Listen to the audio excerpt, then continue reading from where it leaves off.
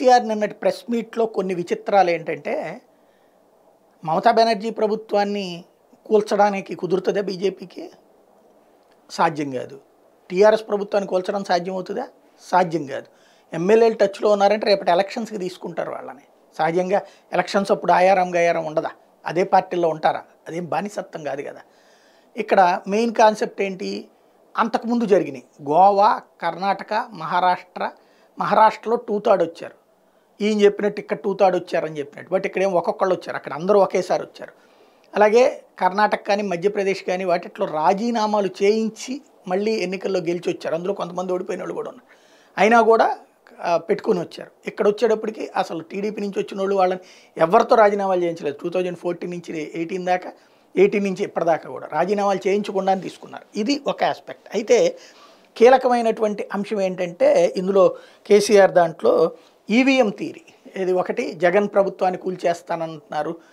అంటే రాజస్థాను లేకపోతే కనుక ఇక్కడది ఢిల్లీ ప్రభుత్వం అయ్యి అసలు వాళ్ళు ప్రయత్నించింది లేదు. జగన్ అయితే అట్లాగా ప్రచారం కూడా ఒప్పుకోలేదు అంటే ప్ర- జగన్ వాళ్ళు ఏమీ ఆ మాట అనలేదు. అక్కడ వచ్చినటువంటిది అయితే ఆమ్ ఆద్మీ పార్టీ తను మొన్న ఈ లిక్కర్ స్కామ్ని డైవర్ట్ చేయడానికి కాసేపు ఆ డ్రామా ఆడింది తప్పించి ఏది ఒక్కటి ఏం ప్రూవ్ చేయలేదు. ఇట్లాగ ఎవరితోనైనా మాట్లాడించి వీడియో ఆడియోలో వాళ్ళని కూడా కావాలంటే చేస్తారనుకున్నారు. ఆ రోజున కూడా ఇది రిలీజ్ చేస్తారన్నారు. ఏమీ లేదు అక్కడ కూడా. ఇది కూడా అంతే. మెయిన్ పాయింట్ ఏంటయ్యా అంటే ఇక్కడ కేసీఆర్కి కావాల్సినటువంటిది ఈవీఎం థీరీ వాళ్ళు అంటున్నారు దాంట్లో ఈవీఎంలు కూడా మేము చూసుకుంటే ఈవీఎంలు ఉన్నంత వరకు మేము గెలుస్తామని. మరి ఈవీఎంలు ఉంటే కేసీఆర్ ఎట్ట గెలిచారు? అదే ఈవీఎంల ద్వారా? బీజేపీకి ఒక్క సీట్ ఎట్ట వచ్చింది? అప్పుడు మరి కేసీఆర్ బీజేపీతో కుమ్మక్కయ్యారా? లేకపోతే మమతా బెనర్జీ ఎట్లా గెలిచింది? రాజస్థాన్లో కాంగ్రెస్ ఎట్లా గెలిచింది?